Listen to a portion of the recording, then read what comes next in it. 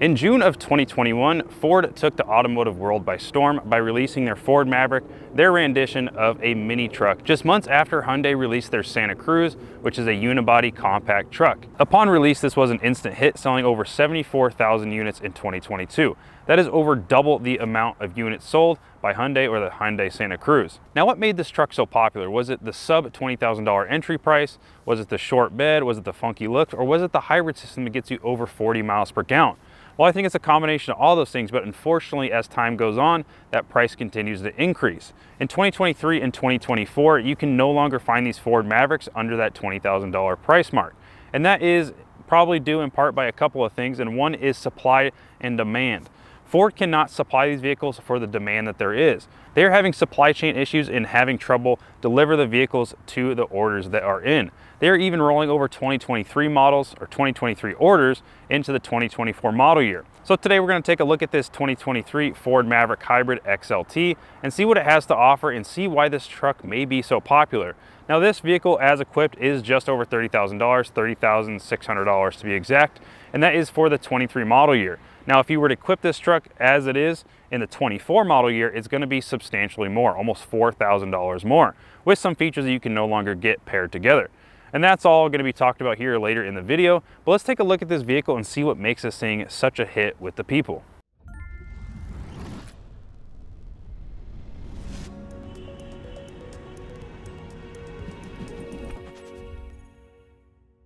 The front design of the Ford Maverick has not changed much since its release in 2021, but there is something special about this Maverick behind me, and that is that it is equipped with the black appearance package, which is a $1,645 option from the factory, and it changes quite a few things. Starting in the front, we're gonna take a look and see what changes are made.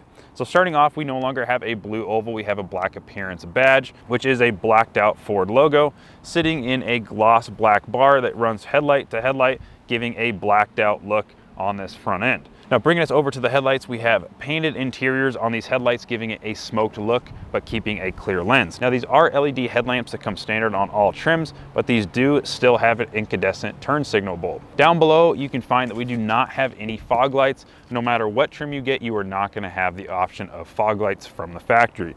Now, was that Ford saying that you're okay with your standard LED headlights? You do not need fog lights or was that them cutting costs? Now, if you plan on taking your Ford Maverick off-road, there's some numbers that you wanna know, and that is approach angle and ground clearance. So for approach angle, we're looking at 20.6 degrees of approach angle and a total of 8.3 inches of ground clearance. Carrying on the theme of the black appearance package from the headlights, moving back, you can see we have these gloss black painted mirrors that are part of that package. We also have these 18 inch aluminum black wheels that are part of that black appearance package, but 17 inch aluminum wheels are standard on the XLT trim. Now this XLT badge is also gloss black, which is a nice feature. It makes everything look real blacked out and there is no chrome to be found on this vehicle. Now these are 18 inch wheels and wrapping this wheel is a Michelin Primacy all season tire in a 225/60 R18 size. And if we move inward, we can talk about the suspension. So in the front, we have our basic independent front suspension or a MacPherson strut. And then in the rear, we have an independent twist beam suspension with an integrated stabilizer bar. Starting in the bed of the Maverick, this is what sets it apart from the competition and what makes this truck so special. And So this is a four and a half foot bed, so it is a little bit smaller than what you'd find in say a Chevy Colorado, a Ford Ranger, or a Toyota Tacoma. But what's special about this truck is the Ford engineers put a lot of thought into making this truck special and making it functional even though it has a shorter bed. You can lay a 2x4 or 2x6 here in this indentation or slide it in right here. What that does is give you some options for organizing your cargo space. The other special thing about this bed is that there is 10 tie downs. So what that means is 10 spots to tie your cargo down. So we have one, two, three, four. We have five, six, seven, eight. And then the last two, I'm gonna jump down here. Hopefully I'm staying in frame. The last two are standard on all Ford Mavericks.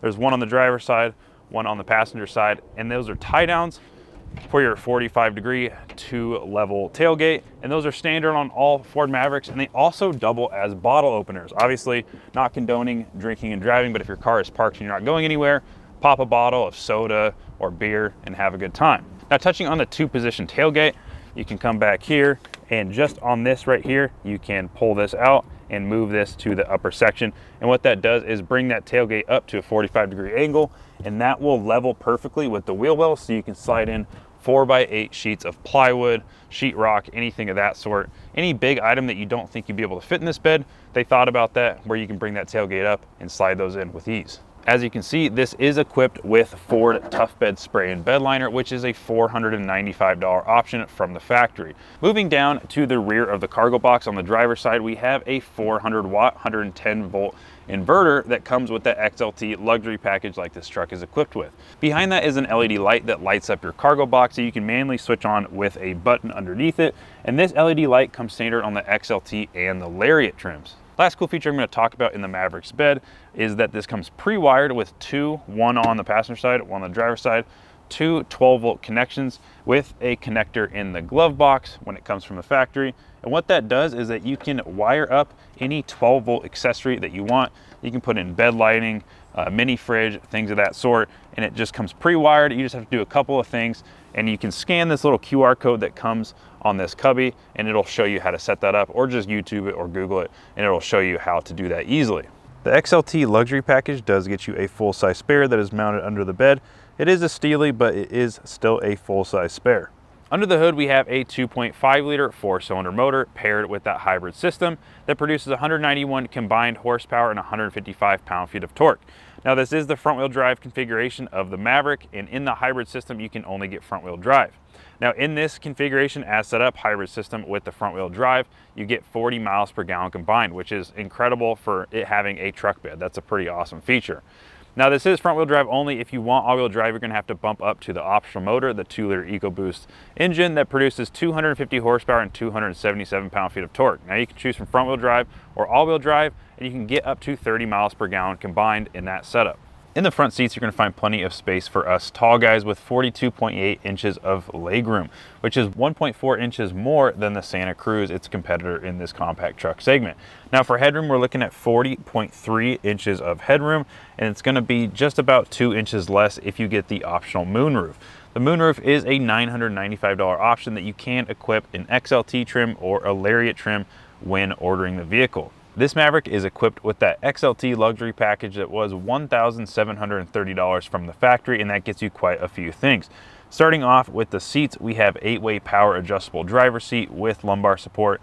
We have a six-way manual passenger seat, and then we also get this nice vinyl wrap steering wheel that is heated, as well as having heated seats in the front. Now the XLT luxury package gets you some other things outside of the interior, including that 400 watt, 110 volt inverter that you can find in the bed, also in the interior. So two different plugs, as well as a LED box lighting and your hitch receiver and your four pin connector. In the back seats of the Maverick, you're gonna find 35.9 inches of legroom, which is a little bit smaller than the Santa Cruz, which sits at 36.7 inches of legroom. And then for headroom, we're looking at 39.6 inches of headroom. It's a little bit less in the legroom department and a little bit more in the headroom department. Now, overall passenger volume for the vehicle interior is 100.3 cubic feet and the Santa Cruz is at 101.8 cubic feet. So overall, the Santa Cruz is just a little bit bigger in the interior passenger volume. Now overall seat comfort for someone my size, this front seat is set to where I would be driving. It's actually surprisingly roomy back here for as small as it looks from the outside. Now that does give a nice indentation in the back of this front driver seat, so your knees are gonna be nice there, but if you put them out to the side, they are gonna hit the seat back. But when they are in this little indentation, I probably have an inch, maybe an inch and a half of room if I am all the way scooted back to that back seat cushion. For our interior color, we have this black onyx trim that you can only get if you select the XLT luxury package as well as the black appearance package. Otherwise, it's just gonna be a navy interior. Nice kind of two-tone gray design here for the seat centers. And then on the perimeter of the seats, we have this nice dark gray cloth material and then nice bolsters for the back here and nice bolsters for the lower portion of the seat. Your seatbelt receptacle comes up nice and high, so it's easy to find. And then moving a little bit past that, we have our center console. So we have a nice vinyl wrapped padded center console with a nice stitch going around the perimeter. Pull the latch here and that opens up to a pretty basic center console. So inside it is no lights, no USB chargers, and no rubber mat. We have a removable felt liner here that we can pull in and out. And then it is big enough for a hydro flask, but we have to angle it just so, so that can close. In front of the center console cubby, we have a nice little storage area here, part of a very nice storage system inside the interior. But right here, I have noticed I have stored mostly my wallet and keys. When driving, I have many sets of keys with all the cars coming in and out of my place. So if I have some in my pockets, I just pull them out and set them right in there.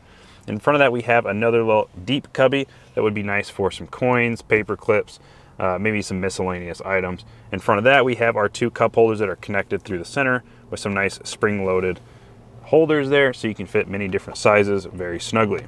To the left, we have our drive select. So we have park, reverse, neutral drive. Then in the center, a low button, electronic parking brake, and down below that, we have our drive select or our drive mode select. So we have five different drive modes. We have normal, tow haul, slippery, eco, as well as sport.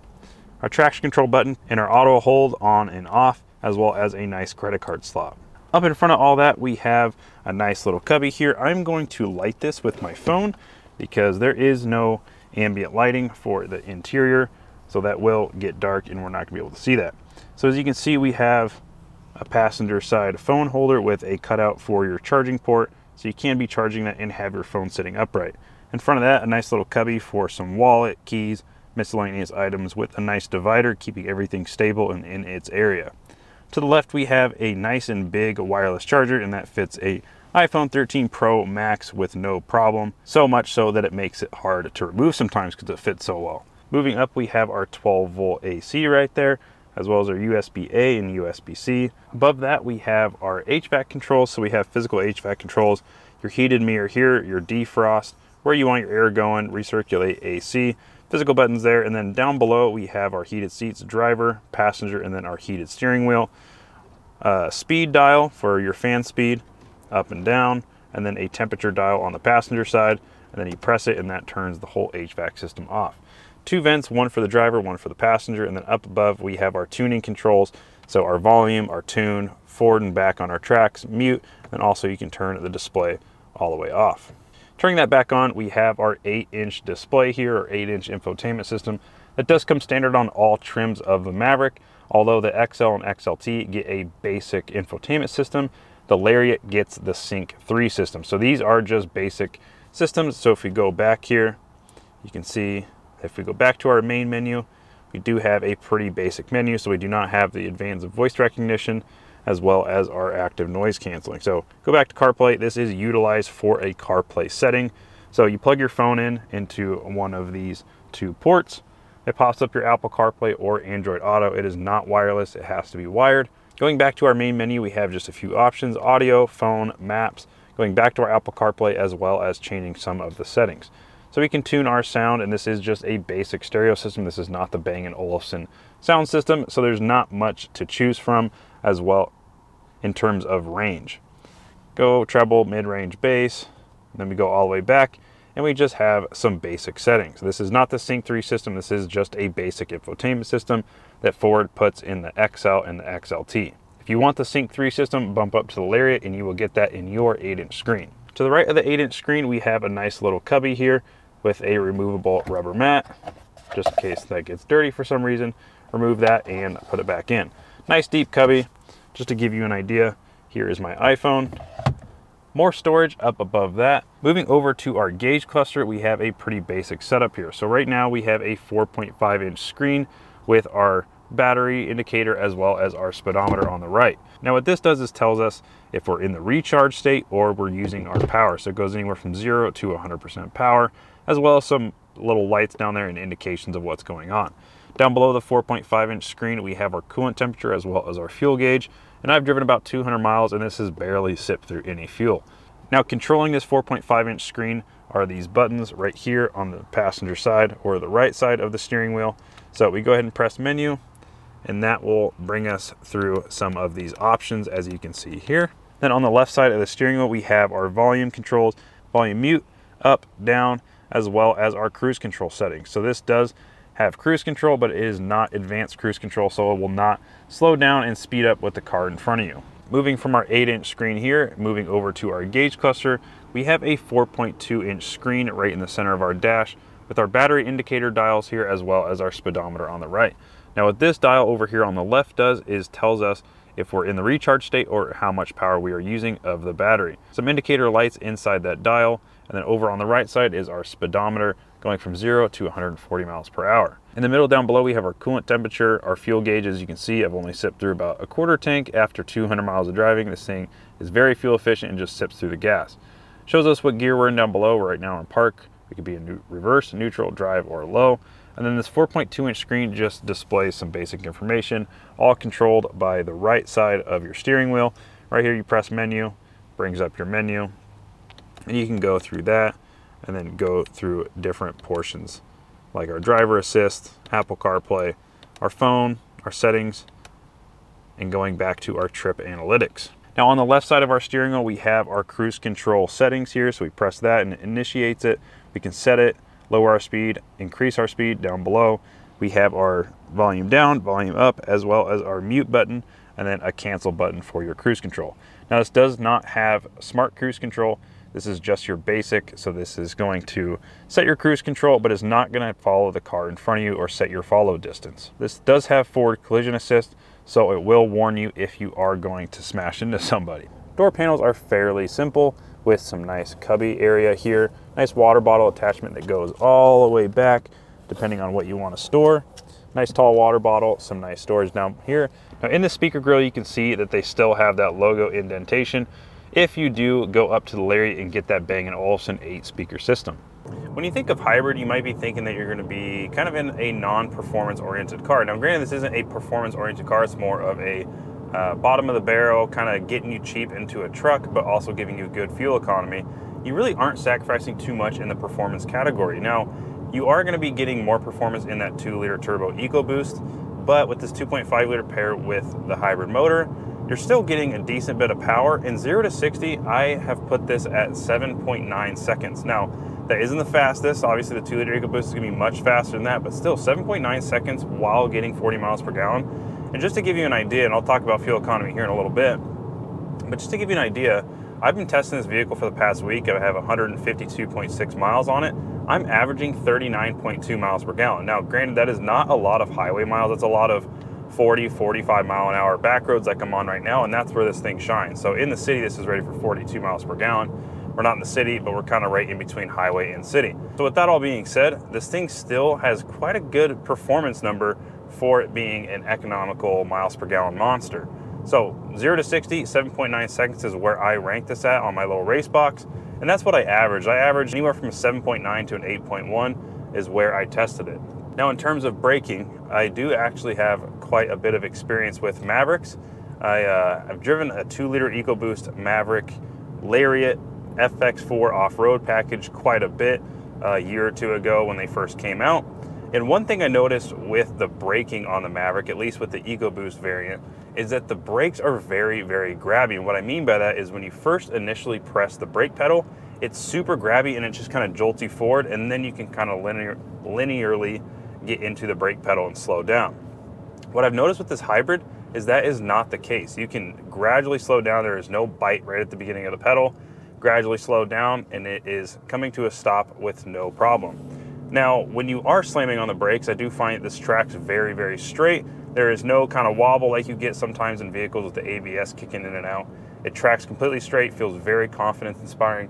When you are hard on the brakes, hopefully you'll never have to do that because most times when you're hard on the brakes, that means there is an emergency situation. So let's hope you're not really testing that out. Maybe if you take this to the track like a crazy person, but we'll see. I mean, if you take it to the track, I want to know how it does. It'd be very interesting.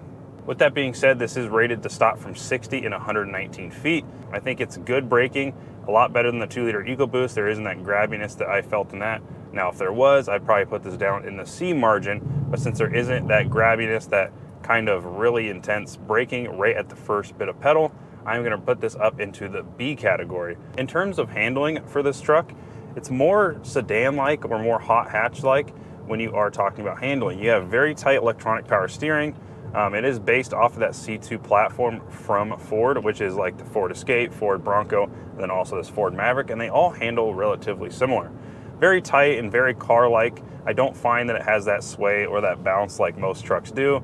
Since this is a unibody construction, it is gonna be a little bit tighter than a body on frame. With that, I'm gonna rank the handling a B. I do find that it handles very well, but that can sacrifice the overall ride quality, which I will touch on here in a second. For overall ride quality, I'm gonna put this at a C+. Ride's a little stiff for my liking. This is a unibody construction, not body on frame like most trucks, so it's gonna ride a little bit different no matter what than like, let's say a Ford Ranger, F-150, things of that sort. So I kind of have to give it some leeway here and there. While the ride is fairly stiff when you're under 60 miles an hour, once you are up to highway speeds, I do find that this ride quality is very confidence inspiring. This is a mid 3,000 pound truck, so it is not the heaviest truck on the road, but it feels that it is much heavier than what it is. And what I mean by that is it's very composed, very stable. It doesn't feel like you're gonna be persuaded by any cracks or crevices in the road. But if you hit something like a pothole or something like that on the highway, it just kind of absorbs it. It is a little bit stiff, but again, it's not jarring. It's not going to hurt you. Uh, so ride quality is kind of a tricky one because up at speed, it's real nice on highways where it's nice and smooth. But on back roads, I do find that is a little bit stiff in my liking. Uh, for what this vehicle is, it's more of a city driver. I wish the suspension was a little bit softer uh, because it can be a little harsh at times, kind of jostling you back and forth when you hit those bumps. When I'm cruising at 45 miles an hour on a little back road where the speed limit is 40 to 50 miles an hour, I do find that the road noise is pretty much non-existent. You can hear things here and there, like some road noise if you hit a pothole, you can hear that. But Overall, the cabin noise inside of this Ford Maverick Hybrid is not too bad in my opinion. Now you have been asking for it, so I have a decibel reader here, and this gives you something tangible to hold on to when I am talking about cabin noise. So I cruise at 45 miles an hour on one of my backcountry roads that is near my house, and I averaged a 66.5 decibel reading when cruising at 45 miles per hour. Now over a span of a two minute drive, that is the max decibel reading that I got on my little machine. So 66.5 decibels. And then I wanted to test if you do go full throttle, since this thing is a CVT, it kind of stays up in those RPMs when you are going full throttle and accelerating. So I wanted to rate that and I wanted to measure that with this little decibel reader. And for that, I got 73.9 decibels as the peak or the max decibel rating when accelerating from zero all the way up to say 60 or 70 miles an hour. So that max rating is around 73, 74 decibels. So overall, cabin noise inside the Ford Maverick front wheel drive hybrid is really not too bad when you are comparing it to other vehicles in this nature. So Santa Cruz, and if you jump up, you can go Ridgeline, Ford Ranger. From here on out, I will be rating cabin noise with this decibel reader so you guys have some sort of tangible uh, number to take home. And you can also test it in your own vehicle. You can download a decibel meter on your phones now, it's probably not going to be as accurate as my designated decibel reader that I have, but it will do pretty good. I have used those in the past and they are fairly accurate. Again, might not be as accurate as this, but it's something nice to have so you can compare your cabin noise versus what we are talking about in these videos. Now let's talk about where this Ford Maverick shines, and that is the fuel economy or the miles per gallon uh, category. Now there is only two vehicles in this compact truck segment. It's this Ford Maverick and the Hyundai Santa Cruz. Now, if you wanted to throw the Honda Ridgeline in there, you probably could, but that is technically in the mid-sized truck segment with the Toyota Tacoma and the Nissan Frontier. But if you wanted to bring that in, this still just dominates the competition uh, with those with those three vehicles in this class. This just dominates the competition. So this gets 42 miles per gallon in the city, 33 highway, or 37 miles per gallon combined. And for the other two vehicles, they're sitting around the low 20s for max miles per gallon. No matter what way you configure it, if you configure it with front wheel drive and the lowest power options, they are getting nowhere close to where this vehicle is. Now this is a hybrid option and the Santa Cruz and the Ridgeline do not have a hybrid option for either one of them. But in that segment, it's just hard to compare in the miles per gallon because this thing just blows them out of the water. And just to give you an example, so right now I'm sitting at 166 miles that I have driven since getting this car last Tuesday. I still have 361 miles of range or till empty, and I am averaging 39.6 miles per gallon over that 166 miles, which is actually crazy to think about because I've actually been testing this pretty hard, zero to 60, going around corners, braking, things of that sort, and it just seems like it just handles everything so well. Now, it's, what's nice is that on your little four inch display in the gauge cluster area, it does give you a trip summary. So like right now, it's all recording my miles per gallon, how far I've driven, how much electric I've used, or how long I've driven on all electric. And when you get done with your drive, you turn the car off, it'll show you a little screen and you can see what your miles per gallon was for that exact trip, which is a nice little feature because you can just see every time you drive how efficient this vehicle really is. So obviously for fuel economy, I have to rate this an A+. plus. There is nothing better.